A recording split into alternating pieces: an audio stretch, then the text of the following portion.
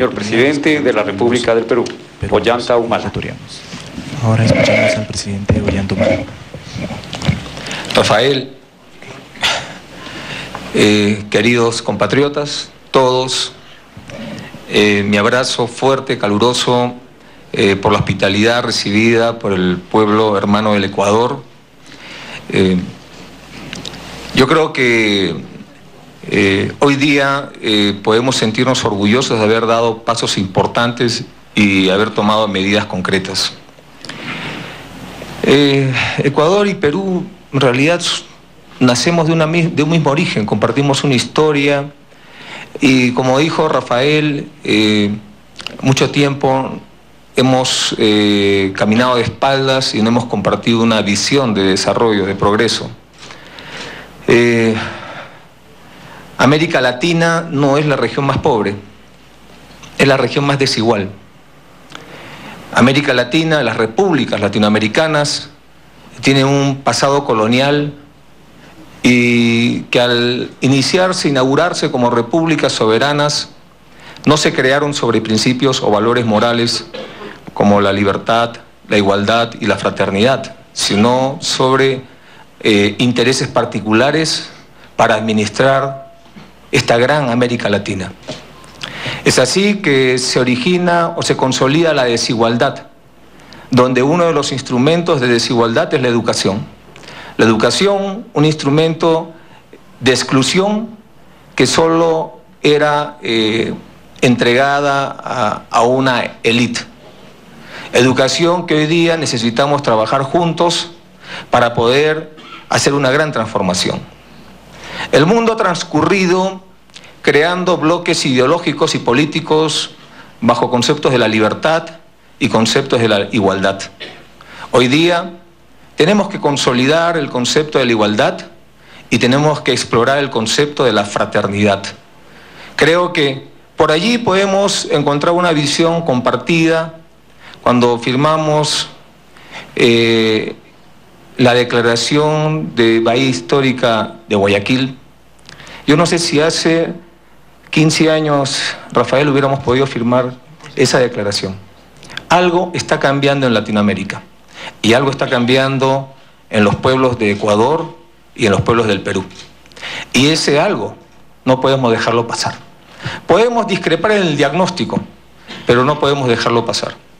El gran reto que tenemos los gobiernos, tanto de Ecuador como de Perú, es avanzar a la velocidad que demandan eh, nuestros pueblos y particularmente las zonas fronterizas. Hemos podido apreciar en esta instalación eh, el sistema, un sistema moderno de seguridad ciudadana, donde eh, hemos podido ver el tráfico de combustible que se hace en la frontera. Ese es un fenómeno que se está dando, que raya en el tema delincuencial, pero también es un fenómeno. Un fenómeno que tenemos no solamente que atacar con la policía, sino tenemos que descubrir el origen, porque hay una necesidad de integración comercial hay algo que de repente estamos fallando los gobiernos que hace que estas poblaciones entren a este circuito comercial. Ese algo es una tarea pendiente que tenemos que resolver porque esa gente está, ese es su medio de vida. No son grandes millonarios esos que están pasando en, en bolsas combustible y otros que se lo llevan en camionetas. Hay otros que se alimentan de ellos. Esos son los que están pervirtiendo y están aprovechándose de la necesidad de la población de a pie.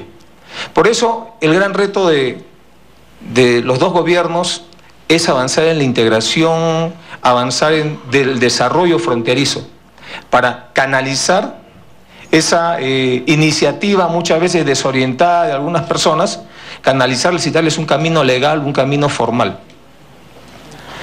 Otros temas más que tenemos que que trabajar son la lucha contra la corrupción. Ese es una de las grandes, grandes males del mundo. Ningún país puede sentirse exento de la corrupción.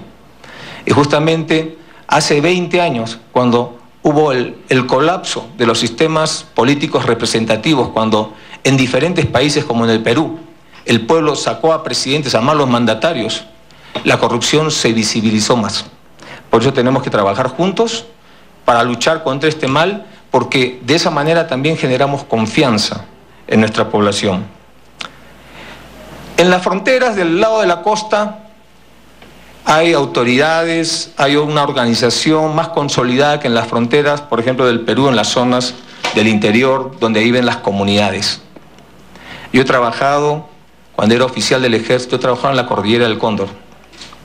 Y yo recuerdo la, sabiduría de las comunidades aguarunas y shuars, cuando en épocas, como mencionó Rafael, del conflicto, los apus de esas comunidades decían, ese será su problema, ese será su conflicto. ¿Cómo yo voy a entrar en conflicto con mis hermanos shuar si no, nos han ofendido en nada? Ustedes están creando conflictos, pero nosotros no no nos sentimos representados en ese conflicto. Y muchas comunidades mantuvieron la paz cuando los gobiernos de esa época mantenían una situación de tensión entre los dos pueblos. Hoy día podemos señalar que este camino es irreversible. Podemos señalar que la senda que estamos construyendo de la mano con el gobierno ecuatoriano, el gobierno peruano, no va a retroceder. Podemos equivocarnos, podemos hacer malos, malas eh, eh, contratos con determinadas empresas para desarrollar determinados proyectos. Podemos equivocarnos. Nadie es sabio. Pero los corregimos e inmediatamente tratamos de ganar tiempo. Necesitamos resolver muchos problemas. El problema de la contaminación, el problema del respeto al medio ambiente, el tema de cómo soldar una solución al problema de la minería ilegal que está contaminando los ríos de nuestra Amazonía. Necesitamos resolver el tema de infraestructura, porque como me decía una, una señora, me decía que la forma como puede apreciar el cariño que le tienen a su pueblo, a un pueblo, de parte del gobierno, es con la carretera. El tipo de carretera marca el cariño. Todos esos temas son temas que tenemos que ir resolviendo.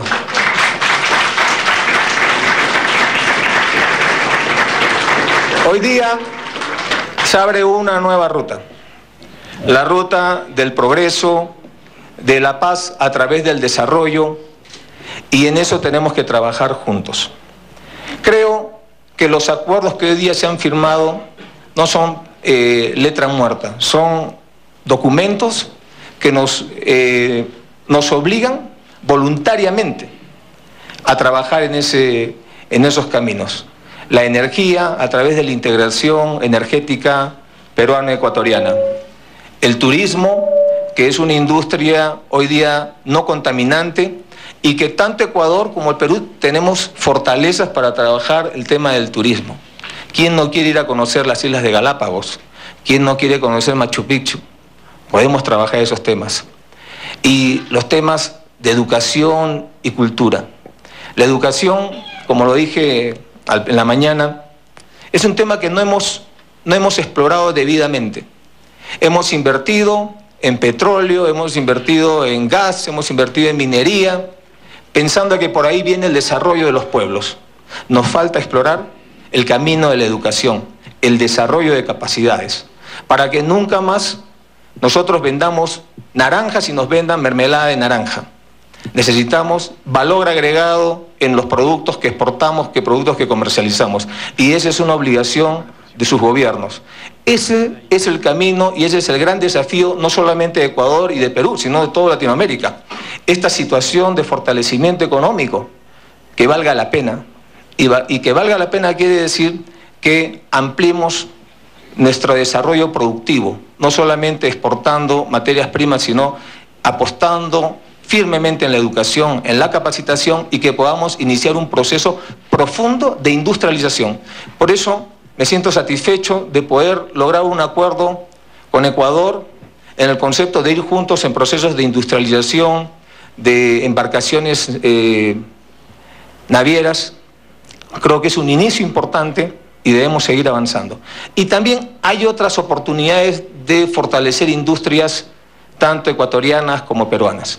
Creo que eso son temas importantes más allá de lo que puedan decir más allá de lo que puedan criticar.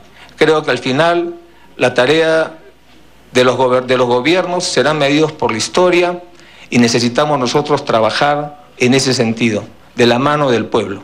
Muchas gracias.